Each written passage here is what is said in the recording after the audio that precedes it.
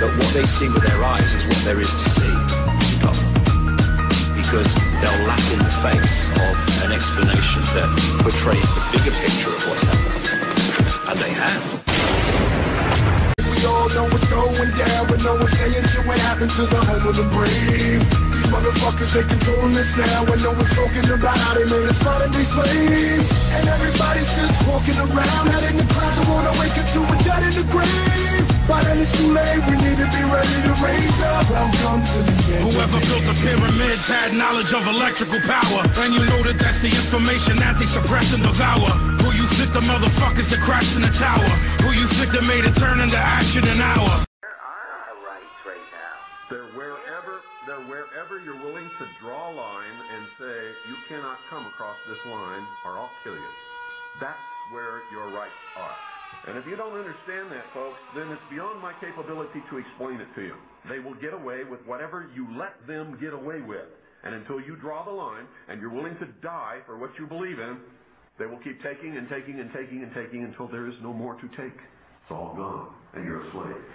They know how to how to write the script real time based on how we're responding uh, in the awakening, how we're responding to the information we're receiving in our brains. Do they not?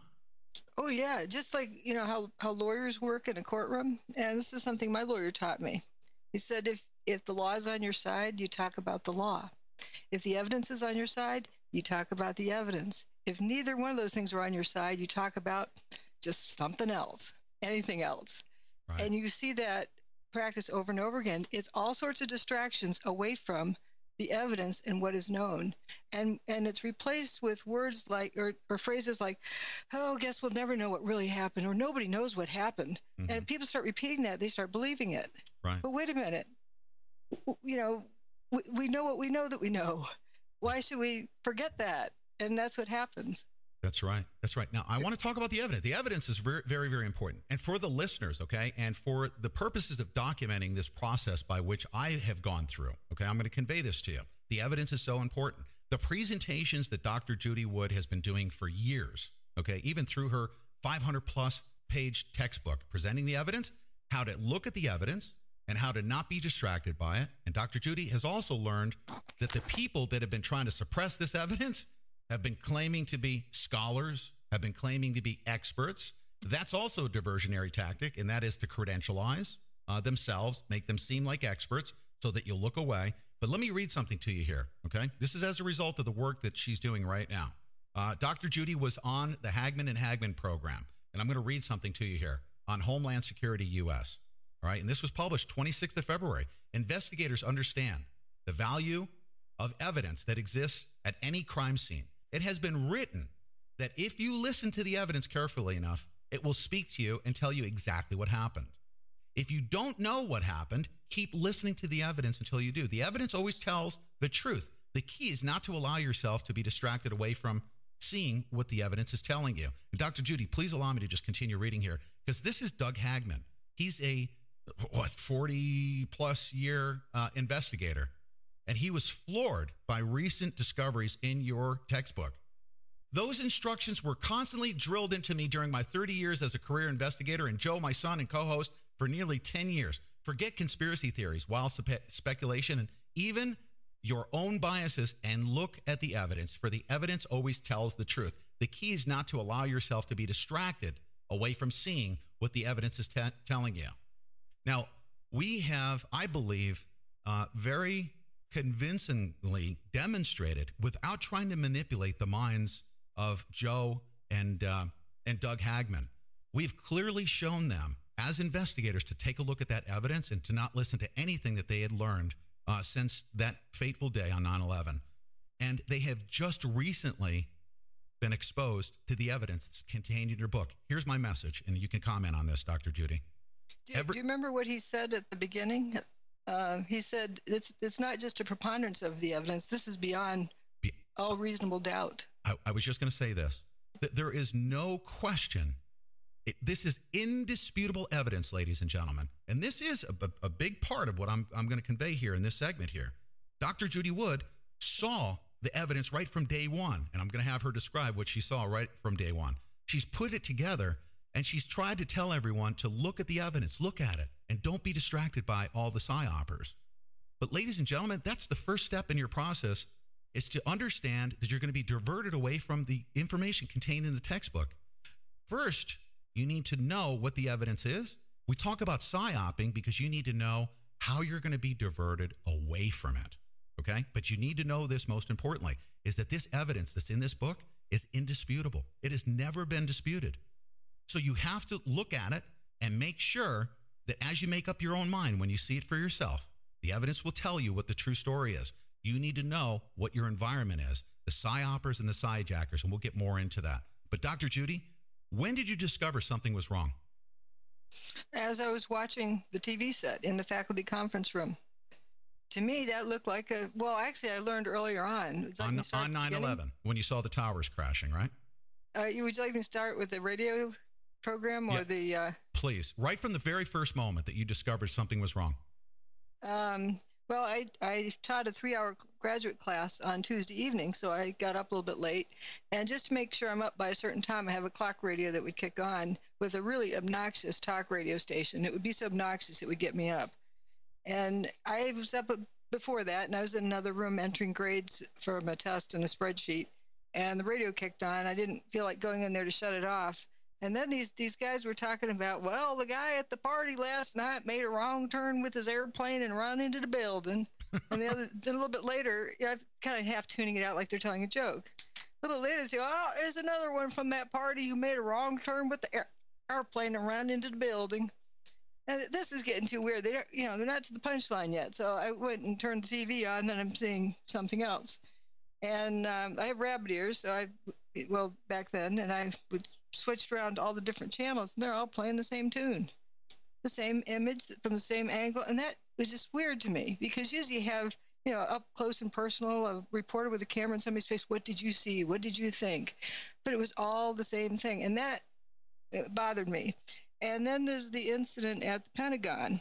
Mm-hmm. And my parents live near the Pentagon, so you know I need more data. This, this looked like somebody was playing a psyops on on the public, kind of like War of the Worlds. Mm-hmm. And uh, so I called my mom to ask her what she saw, because you know if it was we were being attacked, she could she would obviously see fighter jets overhead, right? Mm-hmm. Called her up. She looked at. She didn't know anything was going on. Looked out. No, no fighter jets.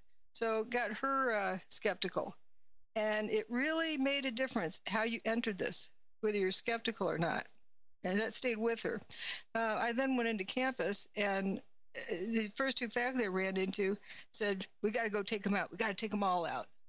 As though they had, you know, their pitchfork in hand, ready for a lynching. Oh yeah, they're already geared up for that. Including me. I mean, I, I have to admit, I was one of those uh, that actually submitted an application to become an air marshal right away. And then I went into the faculty conference room, and where they're playing the TV set in this big screen television. And I'm looking, snickering, almost snickering, pointing at the TV set. I didn't say anything, but it was as though I said, Come on, you guys aren't buying this, are you?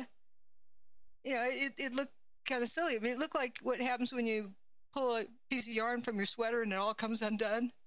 Yeah. Uh, you know, back in the, you know, when we were learning how to knit, they That's didn't right. have the interlocking. And it, the other faculty look at me, and these are full professors in the Department of Mechanical Engineering. They looked at me like I was nuts. And what, you know, am I on a foreign planet? Am I insane or is the rest of the world insane?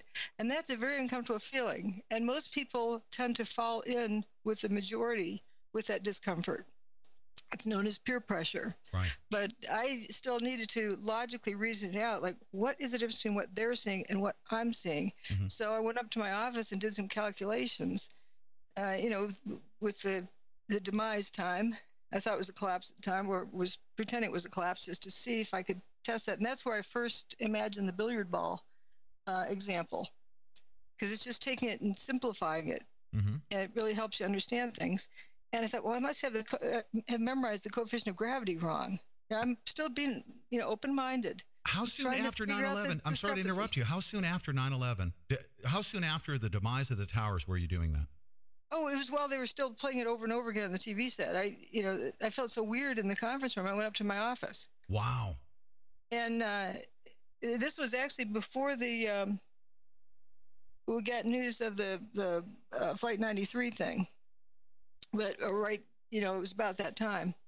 Um, but anyway, I was I was going through this calculation. I thought, okay, I've memorized the coefficient of gravity wrong, and and then I look up my physics book off the shelf. Well, that's the same number. Well, maybe that was a typo, and I memorized that. That's why I have memorized wrong. So I actually went through four physics books to find that coefficient of gravity. I, it's like I was just desperate to find an explanation for why I saw something that nobody else saw. I didn't give in and just decide I saw what I was told to see. That's that's the uh, weird part about me. Uh, you know, I, I needed to understand what was the discrepancy, and actually I wrote down very simple equation of motion and took it to another faculty member two doors down. I didn't tell him what it was for. I showed it to him. He acted like I was having a senior moment because it was so simple. Like, of course that, that that's correct. And I, I still was like, what's going on here? Mm-hmm. And uh, I went to class. They it was it was smart. They allowed classes to continue because they figured people have to talk about it anyway, so they may as well you know go to class and talk about it. And I was telling my students, isn't it amazing how they built this building to to just go away, just mm. go straight down, or just go away? Isn't that amazing? And and they they were all into you know terrorists and Bin Laden and Al Qaeda, and I couldn't get them interested in the structure that was just bizarre mm. behavior. Mm. And after a few days, you learn not to talk about it because uh, if you're not on board with, you know, grabbing your pitchfork and going after the witch, you know, witch hunts, then uh, if, if people would just have this tunnel vision. I've heard you tell this story. I've heard you tell this story many times, but I didn't realize it was that soon after while it was going on in the break room. I thought it was later on in the day that you were sitting down doing your calculations. Um, remarkable. Yeah. Can, can I can I share something with you here? I want to play this again. I know you've heard it earlier on in the week, okay, because this is important to, to, to display this, especially to our new listeners. The, the media, ladies and gentlemen, is so scripted. I'm going to prove it to you right here. That there is no, you listen to this and you tell me whether or not somebody is typing information to create a perception in your mind. Now, what the message is and what they're trying to create, you don't even know that. They just want to influence your brain in the following manner. Listen to this.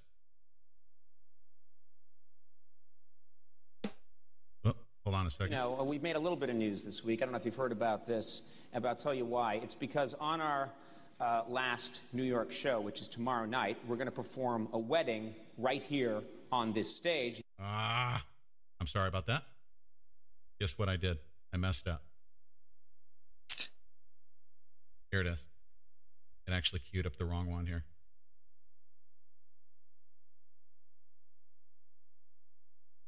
Because I don't value that particular clip all that much because, um, you know, we don't know why the guy was saying it. Maybe he just has a big ego, likes to pretend he's in control of everything, and spouts out whatever rationalization with confidence at, at spur of the moment. Yeah, I'm sorry. Uh, that that uh, that one uh, unfortunately wasn't uh, ready to be queued up. But here's my point: is that they showed over and over and over again that the the media is reading from their teleprompters. Who's writing on those teleprompters is most important because it's actually oh, happening oh, that across one, the, that one. across the country.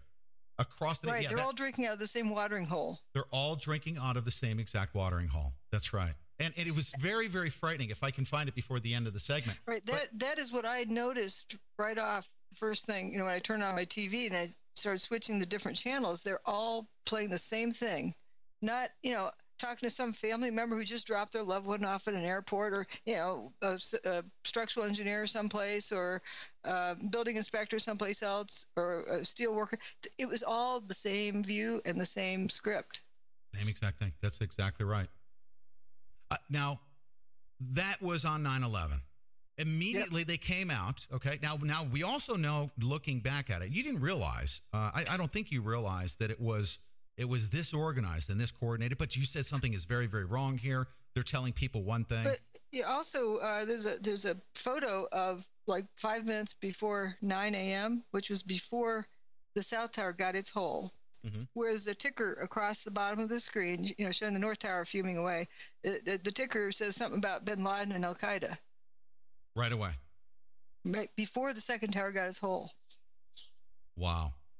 And I'm sure somebody found uh, passports out on the curb uh, within minutes after that that uh, that ticker. I'm, I'm, as I as I like to joke and say, well, did, did the driver of the airplane spool the window down and check that out before he yeah. hit the building? Because